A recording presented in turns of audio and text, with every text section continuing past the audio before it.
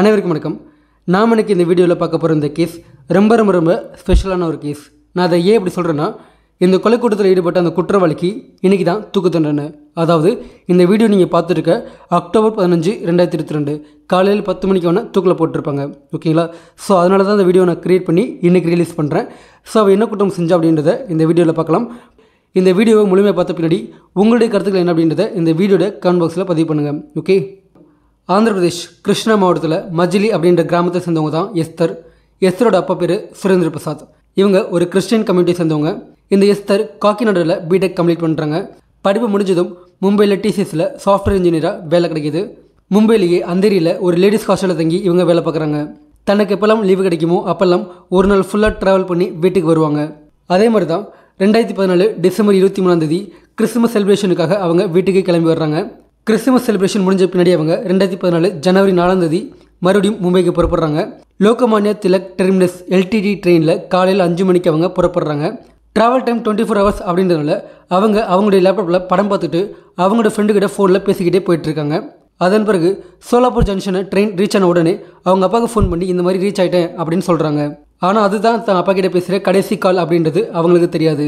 அடுத்த நாள் அதாவது ஜனவரி அஞ்சு ரெண்டாயிரத்தி பதினாலு தன்னுடைய பொண்ணு எஸ்தர் ஹாஸ்டலுக்கு போய் சேர்ந்துட்டாங்களா அப்படின்னு தெரிஞ்சுக்க இந்த எஸ்தருடைய அப்பா ஃபோன் பண்ணுறாங்க ஆனால் ஃபோன் சுவிச் ஆஃப் வருது ஒருவேளை சார்ஜ் இல்லாமல் இருக்கும் அப்படின்னா அவர் மறுபடியும் ரெண்டு மணி நேரம் கழிச்சு ஃபோன் பண்ணுறாரு ஆனால் அப்பயும் ஃபோன் சுவிச் ஆஃப் வருது இப்போ உடனே அவர் எஸ்ஸோடைய ஃப்ரெண்டுக்கு ஃபோன் பண்ணி இந்த மாதிரி எஸ்ஆர் வேலைக்கு வந்துட்டாங்களா அப்படின்னு கேட்குறாரு அதுக்கு அவங்க கம்பெனியில் விசாரிச்சுட்டு எஸ்ஆர் இன்னும் கம்பெனிக்கு வரல அப்படின்னு சொல்கிறாங்க இதனால் பயந்து போன சுரேந்திர பிரசாத் உடனே எஸ்ஸோடைய ஹாஸ்டலுக்கு ஃபோன் பண்ணுறாரு ஆனால் அங்கேயும் எஸ்ஆர் இன்னும் வரல அப்படின்னு சொல்லிடுறாங்க.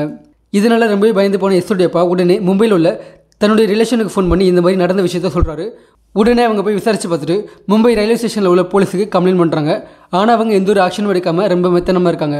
உடனே எஸ்ஓடி அப்பா விஜயவாடா போலீஸில் கம்ப்ளைண்ட் பண்ணுறாரு ஆனால் அங்கேயும் எந்த ஒரு ஆக்ஷனும் எடுக்காமல் ரொம்ப மெத்தனமாக இருக்காங்க.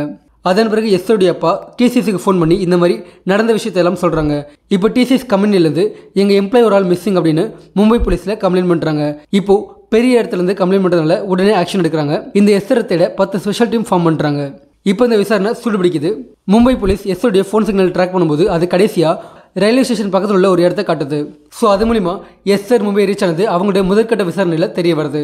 இப்போ அந்த ரயில்வே ஸ்டேஷன் உள்ள சிசிடிவி கேமரா எல்லாத்தையும் செக் பண்ணுறாங்க அந்த ஸ்டேஷனில் மட்டும் கிட்டத்தட்ட முப்பத்தி ரெண்டு சிசிடிவி கேமரா இருக்குது அது எல்லாத்தையுமே போலீஸ் ரொம்ப நிதானமாக பொறுமையாக செக் பண்ணிட்டு இருக்காங்க. இப்படி மும்பை போலீஸ் சிசிடிவி கேமராவை செக் பண்ணிட்டு இருக்கும்போது எஸ்ஓடைய ஃபோன் சிக்னல் கடைசியாக காட்டின இடத்துல இந்த எஸ்ஓடைய பேரண்ட்ஸும் சொந்தக்காரங்களும் தேடிட்டு இருக்காங்க. அப்படி தேடிக்கிட்டே இருக்கும்போது சரியாக ஜனவரி பதினாறாம் தேதி ஒரு சர்வீஸ் ரோட்டில் ஒரு ஓரமாக எஸ்ஸருடைய துப்படாவை பார்க்குறாங்க இப்போ இன்னும் கொஞ்சம் தூரம் தேடிக்கிட்டே போகும்போது கொஞ்சம் தூரத்தில் ஒரு புதருக்குள்ளே எஸ்ஸருடைய பாடி பாதி எரிஞ்ச நிலைமையில் இருக்குது ஒரு அப்பா தன் பொண்ணை எந்த நிலைமையில் பார்க்கக்கூடாதோ அந்த நிலைமையில் இந்த எஸ்ஆர் இருக்காங்க.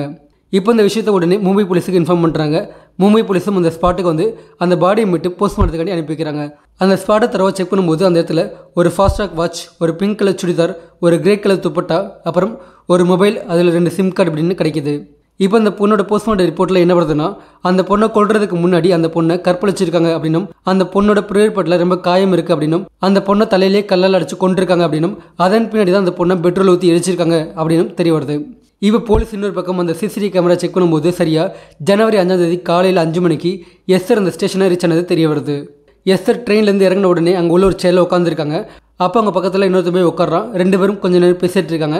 அதன் பின்னாடி அங்கேருந்து கிளம்பி ரெண்டு பேரும் வெளியே போகிறாங்க ஆனால் அப்படி வெளியே போகிறப்ப எஸ்ஆர் யாரோடைய ஃபோனில் பேசுகிற மாதிரி ரெக்கார்டாக இருக்குது ஆனால் போலீஸ் எஸ்ஆருடைய கால் டேட்டாவை செக் பண்ணும்போது அந்த டயத்தில் யாரும் அவங்களுக்கு ஃபோன் பண்ணலை அவங்களும் யாருக்கும் ஃபோன் பண்ணலை அப்படின்ற விஷயம் தெரிய வருது. ஸோ அவங்க பயத்தில் ஃபோன் பேசுகிற மாதிரி நடிச்சிருக்காங்க அப்படின்ற விஷயத்த போலீஸ் கண்டுபிடிக்கிறாங்க. இப்போ போலீஸ் அந்த ஃபோட்டோ வச்சு பக்கத்தில் உள்ள ஸ்லம் ஏரியாவில் விசாரிக்கும் போது ஒரு அம்மா அந்த ஃபோட்டோ பார்த்து இது என் பையன் சந்திரபாணி அப்படின்னு சொல்கிறாங்க உடனே போலீஸ் அவன் வர வரைக்கும் அங்கேயே வெயிட் பண்ணுறாங்க அவனும் வர்றான். வந்த பின்னாடி அவனை கூப்பிட்டு இந்த ஃபோட்டோவில் இருக்குது நீ தானே அப்படின்னு கேட்குறாங்க அதுக்கு அவன் இது நான் கிடையாது அப்படின்னு சொல்கிறான் இப்போ போலீஸ் எஸ்ஆர் காணாமல் போனால் அந்த அஞ்சாந்தேதி நீ எங்கே இருந்த? அப்படின்னு கேட்குறாங்க அதுக்கு அவன் நான் வேலை விஷயமா ஜார்க்கண்டில் இருந்தேன் அப்படின்னு சொல்கிறான் இப்போ போலீஸ் அவனை ஒத்து பார்க்குறாங்க அப்படி பார்க்கும்போது அவனோட முகத்தில் தாடி மிஸ் எல்லாம் ஃபுல்லாக இருக்குது ஆனால் ஃபோட்டோவில் இருக்க அந்த நபருக்கு தாடி மிஸ் அப்படின்னு எதுவுமே கிடையாது. இதனால் போலீஸ் அவனோட ஃபோன் நம்பர் மட்டும் வாங்கிட்டு அங்கேருந்து கிளம்பி போயிடுறாங்க. இப்போ ஸ்டேஷன் போன பின்னாடி அவன் கொடுத்த நம்பரை ட்ரேஸ் பண்ணும்போது அந்த நம்பர் அவனுடையது இல்லை அப்படின்னு தெரிய வருது. இதனால் போலீஸுக்கு அவன் மேலே சந்தேகம் வருது. உடனே போலீஸ் அவன் வீட்டுக்கு கிளம்பி போகிறாங்க ஆனால் அப்போ அந்த வீட்டில் அவன் இல்லை. இப்போ போலீஸ் பக்கத்து வீட்டில் விசாரித்து அவனோட ஃபோன் நம்பர் வாங்குறாங்க. அவனோட ஃபோன் சிக்னலை ட்ராக் பண்ணுறாங்க எஸ்ஆர் காணாமல் போன அன்னைக்கு அதாவது ஜனவரி அஞ்சாந்தேதி அவனோட ஃபோன் எங்கே இருந்துச்சு அப்படின்னு செக் பண்ணுறப்போ எஸ்ஸோடைய ஃபோன் கடைசியாக எங்கே இருந்துச்சோ அதே இடத்துல தான் இவனோட லொக்கேஷனும் காட்டுது. அதனால் இவன் தான் குற்றவாளி அப்படின்னு போலீஸ் கண்டுபிடிச்சிடறாங்க. ஆனால் இந்த சமயத்தில் இந்த கேஸ் போலீஸ் கிட்ட இருந்து சிஐடிக்கு மாறுது. சிஐடி இந்த கேஸை விசாரணை பண்ணி சரியா மார்ச் பதினாலாம் தேதி அவனை நாசியில் அரெஸ்ட் பண்ணுறாங்க அவனை அரெஸ்ட் பண்ணும்போது அவனுடைய பாக்கெட்டில் ஒரு ஃபோனும் ஒரு ஜாதகமும் இருக்குது. இப்போ சிஐடி இந்த சந்திரபாணியை அவங்க ஸ்டைலில் விசாரணை பண்ணும்போது அவன் ஒட்டுமொத்த உண்மையும் சொல்கிறான் இந்த சந்திரபாணியோட ப ரயில்வே ஸ்டேஷனில் லக்கேஜ் தூக்குற ஒரு கூலியாக ஒர்க் பண்ணிட்டு இருக்காரு. ஆனால் அவர் இறந்து போகிறதுனால அந்த வேலை இவருக்கு வருது. ஆனால் இவர் அந்த வேலையை முழுசாக ரெண்டு வருஷம் கூட செய்யாமல் அந்த வேலையை வேற ஒருத்தருக்கு வித்துட்டு இவர் டாக்ஸி ஓட்ட ஆரம்பிக்கிறாரு. இவருக்கு மொத்தம் மூணு கல்யாணம் இருக்குது இப்போ கரண்ட்டில் இவர் மூணாவது பொண்டாட்டியோட இருக்காரு. சம்பவம் நடந்த அன்னைக்கு. அதாவது ஜனவரி அஞ்சு ரெண்டாயிரத்தி பதினாலில் இவன் ஒரு பைக்கில் அந்த ரயில்வே ஸ்டேஷனுக்கு வர்றான். அங்கே வந்த பின்னாடி பைக்கை ஸ்டாண்டில் விட்டுட்டு இவன் அந்த ரயில்வே ஸ்டேஷனுக்குள்ளே என்ட்ராகிறான் அப்போ மணி சரியா அஞ்சு மணி. இவன் எதுக்காக அப்போ அங்கே போனான்னா அந்த சமயத்தில் பயணிகள் நிறைய பேர் பிளாட்ஃபாரத்தில் தூங்கிட்டு இருப்பாங்க. அவங்க பொருள் ஏதாவது எடுத்துகிட்டு போயிடலாம் அப்படின்னு ஒரு திருட்டு நோக்கத்தோடு அங்கே வந்திருக்கான். ஆனால் அந்த சமயத்தில் எஸ்தர் தனியாக அந்த சேரில் உட்காந்துருக்கிறத பார்க்குறான் உடனே அங்கே போய் அந்த சேரில் உட்காந்து மேடம் டாக்ஸி வேணுமா? அப்படின்னு கேட்குறான் ஆனால் எஸ்தர் பார்த்தீங்கன்னா காலையில் ஆறு மணி ஆனதும் அதாவது கொஞ்சம் விடிஞ்ச உடனே டாக்ஸி பிடிச்சி போகலாம் அப்படின்னு ஒரு மைண்ட் செட்டில் இருந்தாங்க. இப்போ இந்த சந்திரபாணி போய் டாக்ஸி வேணுமா அப்படின்னு கேட்கும் அவங்களுக்கு என்ன சொல்கிறதுன்னு தெரியல. ஆனால் அந்த சந்திரபாணி அவங்க எவ்வளோ சொல்லியும் கேட்காம அவங்க லக்கேஜ் தூக்கிட்டு அங்கேருந்து நடக்க ஆரம்பிக்கிறான். இப்போ இந்த எஸ்வரும் பயத்தில் வேறு வழி இல்லாமல் அவன் கூடவே நடந்து போயிட்டு இருக்காங்க. ஆனால் பயத்தில் அவங்களுக்கு என்ன பண்ணுறதுனே தெரியல. அதனால் வெறும் ஃபோனை காதில் வச்சு பேசுகிற மாதிரி நடிச்சுக்கிட்டு நடந்து போயிட்டு இருக்காங்க. வெளியே போன உடனே இந்த சந்திரபாணி பைக்கில் ஏறி உட்காந்து அந்த பேக்கை தூக்கி முன்னாடி வச்சுக்கிட்டு ஏறுங்க மேடம் அப்படின்னு சொல்கிறான் இதை பார்த்த உடனே எஸ்ஆர் ஷாக் ஆகுறாங்க. கார் எங்கன்னு கேட்குறாங்க அதுக்கு இந்த சந்திரபாணி மேடம் நீங்கள் சொல்கிற இடம் ரொம்ப தூரத்தில் இருக்குது டாக்ஸியில் போனால் ஆயிரம் ரூபாய்க்கு மேலே ஆகும். அதே பைக்கில் கூட்டிகிட்டு போனால் முந்நூறுரூவா தான்.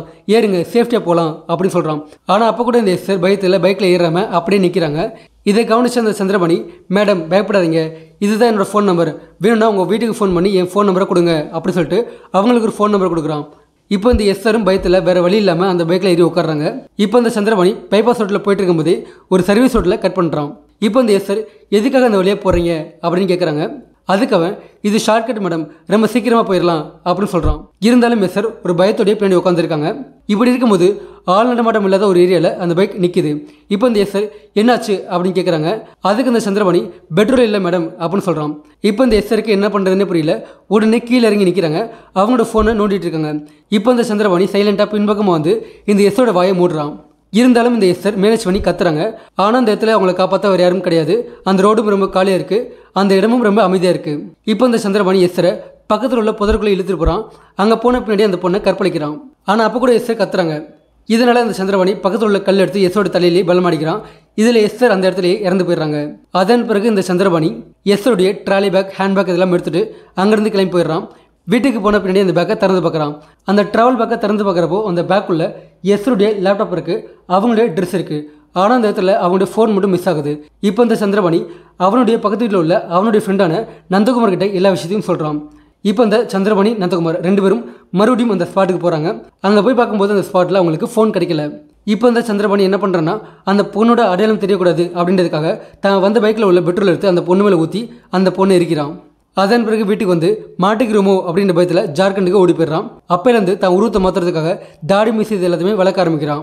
அது மட்டும் இல்லாமல் இவனோட மனசுக்குள்ளே ஒரு பயம் இருக்குது அதனால் இவன் என்ன பண்ணுறான்னா அவனுடைய ஜாதகத்தை எடுத்துகிட்டு போய் ஒரு சாமியார்கிட்ட காமிக்கிறான். அந்த சாமி என்ன சொல்கிறேன்னா உனக்கு கட்டா சரியில்லை பூஜை பண்ணணும் அப்படி சொல்கிறாரு அப்படி இந்த சாமியார் பார்த்துட்டு இவன் திரும்பி வரும்போது தான் இந்த சிஐடி கிட்ட இவன் மாட்டுறான். ஸோ கடைசியில் அவனுக்கு கட்டம் சரியில்லாமல் போயிடுச்சு இனிமேல் என்ன பூஜை பண்ணாலும் இவனுக்கு ஒத்து வராது. ஸ்டேஷனுக்குள்ளே வச்சு சிஐடி இவனுக்கு பூஜை பண்ணுறாங்க ஓகேங்களா? சிவ ஒட்டுமொத்தமாக கலைஞ்சு போச்சு எல்லாமே. இதன் பிறகு போலீஸ் இவனையும் ஆதாரங்களையும் கோர்ட்டில் ஆஜர் பண்ணுறாங்க இந்த கேஸை விசாரித்த நீதிபதி இவனுக்கு தூக்கு தண்டனை கொடுக்குறாரு? அதுவும் எப்படின்னு பார்த்தீங்கன்னா அக்டோபர் பதினஞ்சு ரெண்டாயிரத்தி இருபத்தி ரெண்டு காலையில் பத்து மணிக்கு. அதாவது இந்த வீடியோவில் நீங்கள் பார்த்துருக்க இதே சமயத்தில். ஸோ தசிர் கைஸ் இந்த கதை பற்றின உங்களுடைய கருத்துக்கள் என்ன அப்படின்றத இந்த வீடியோட கமெண்ட் பாக்ஸில் பதிவு பண்ணுங்கள் அண்ட் தென் என்னோட சேனலுக்கு ஃபஸ்ட் டைம்னா மறக்காமல் சப்ஸ்கிரைப் பண்ணி லைக் பண்ணுங்கள் நன்றி வணக்கம்.